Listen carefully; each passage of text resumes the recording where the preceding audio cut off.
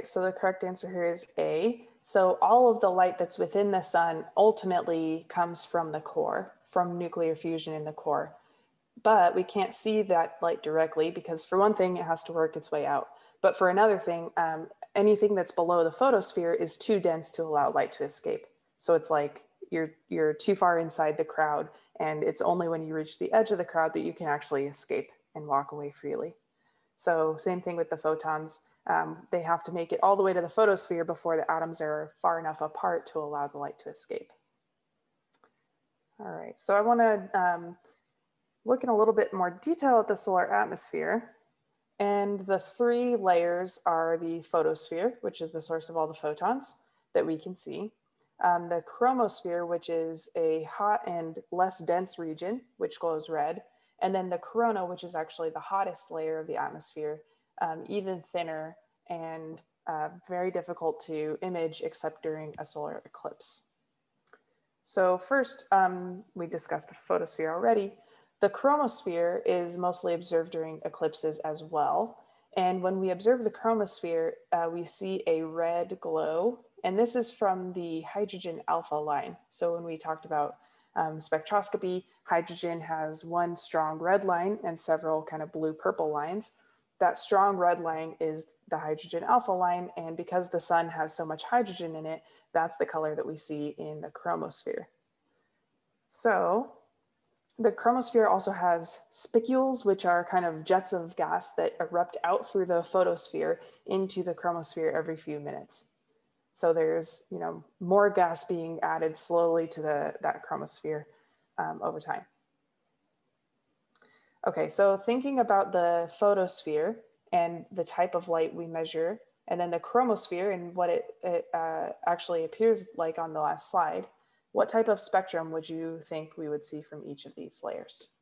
So thinking back to um, the types of, I guess, materials that produce each kind of spectrum, the absorption spectrum comes from light from a hot source passing through a cool gas, but an emission spectrum comes from a hot excited gas that's directly emitting light.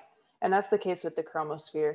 Um, it's a, a, thin gas, but it's hot. So it's um, even hotter than the photosphere, which seems strange the temperature as you dive into the sun gets warmer as you go in. But if you're starting from the photosphere and going out, it also gets hotter until it levels off at the uh, corona. So the chromosphere, as a result, is hot and glows. And since it's mostly made of hydrogen, it glows red. Um, but why does the photosphere produce an absorption spectrum instead of a continuous spectrum? The photosphere is actually thin enough that its atoms are able to absorb the light that's coming through. So even though there's there's a continuous spectrum that's um, kind of behind the photosphere, the photosphere is thin enough that it's able to, it's cool enough that it can actually absorb some of that light. So it would be a continuous spectrum if the um, gas molecules in the photosphere were not cool enough to actually absorb some of the light. But they do absorb some of the light, so we see an absorption spectrum. So like I mentioned before, the photosphere is kind of the coolest region on the sun. And then from there, the chromosphere is hotter. And then the temperature spikes up really fast in this transition region before it levels off in the corona. So the transition region, the reason for this huge temperature increase is not really well understood. It might have to do with the strong magnetic field in that region that's ionizing um, the atoms there. So it, ripping the electrons off of those atoms. Uh, but truly, this is not well understood, and one of the reasons that NASA has sent the Parker Solar Probe, which is, I think, right now orbiting within the corona. Okay, the corona um, is something that we see, you know, it's associated with solar eclipses because it's really hard to see in, in at any other time. Uh, but when the moon blocks the sun during a solar eclipse, then you can see these kind of wispy tendrils of gas. The corona extends far from the sun and uh, is the source of also the solar wind. Um, it's hotter than the chromosphere, and because it's so hot, it has a lot of ions, and so its absorption spectrum is really complicated. It contains things like iron with only 13 electrons instead of the normal 26, so that's like a super ion. Um, so the, the study of things like this, the, the spectra of layers of the sun, that's what helped us to actually identify some elements that we didn't know about before we started doing spectroscopy. So we measured, for example, helium in the sun before it was even discovered anywhere on Earth. So the solar wind um, is basically parts of the corona that are um, escaping.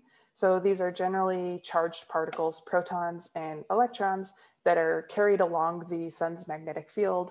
They're light and hot and they're moving quickly enough to escape the sun's gravity.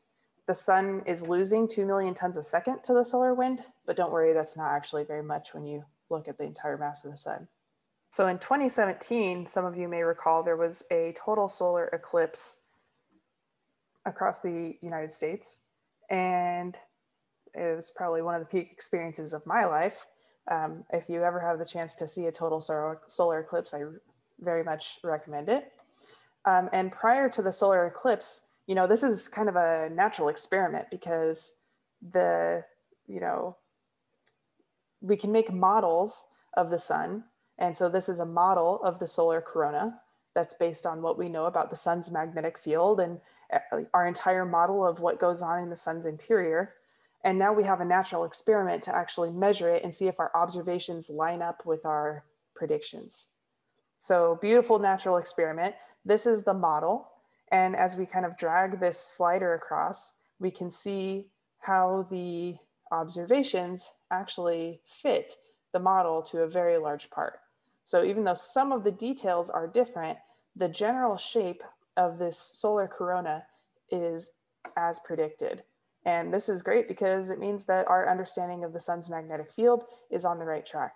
So even though there's still plenty that we do not understand, um, we are uh, have actually made a great deal of progress into being able to uh, predict the shape of the corona. And this isn't just important for, you know, I guess the enterprise of science, but also because understanding the sun's magnetic field and how it changes over time is related to solar activity and space weather.